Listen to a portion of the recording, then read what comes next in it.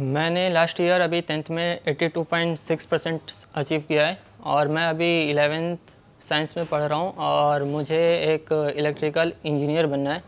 IIT और मैं अभी आईआईटी जेई के लिए प्रिपरेशन कर रहा हूँ और